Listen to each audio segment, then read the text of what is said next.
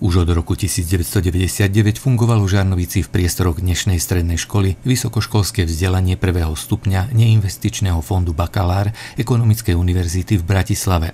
S touto myšlienkou na založenie takéhoto detašovaného pracoviska v Žarnovici prišla vtedy inžinierka Manínová. Po 16 rokoch sa zmenila mm, vedenie školy, zväčšil nový rektor a oni už nechceli akreditovať strediska na Slovensku.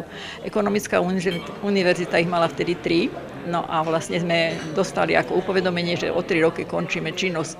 Takže z toho dôvodu vlastne ja som sa rozhodla, že nemôžem toto zanechať a hľadala som také iné možnosti a tie dobré vzťahy, ktoré sme tam ako za tých 16 rokov mali vybudované, tak už aj pedagógovia, profesori proste nás od, ma odporúčili na pani ako rektorku a zakladateľku Vysokej školy ekonomie manažmentu, tej to bola ešte verejná správa, na pani doktorku Cibákovú a vlastne ona toto prijala a bola celkom rada, že s touto ponukou sme prišli a mohol to pokračovať v Žarnovici. Dnes táto škola slávi už 20 rokov od svojho založenia a bolo to poznať aj na otvorení nového školského roku, ktorý sa konal tento raz v kultúrnom dome. Na našej škole aktuálne študuje tis, viac ako 1600 študentov.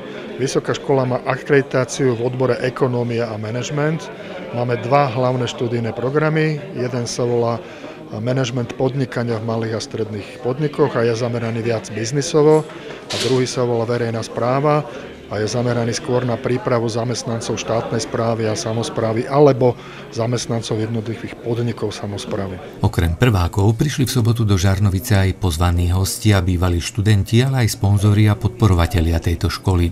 Samozrejme pri takejto príležitosti okrúhleho výročia sa udeľovali aj pamätné plakety a ocenenia. Zhruba 1,5 hodinový program doplňali svojimi vystúpeniami žiaci základnej umeleckej školy a tanečnej školy Márii Golovlevovej. Som tiež rada som poctená tým, že som mohla byť účastná tohto významného podujatia. No a čo to znamená pre mesto? Tak aj týmto spôsobom sa mesto zviditeľňuje a dostáva do povedomia, ako že Žarnovici je táto pobočka alebo táto, toto detašované pracovisko. Keďže takýchto detašovaných pracovisk po Slovensku má škola 9, oslavy budú prebiehať postupne celý prvý semester. Tie najväčšie v Bratislave sa už konali pred dvomi týždňami za účasti skoro 500 pozvaných hostí.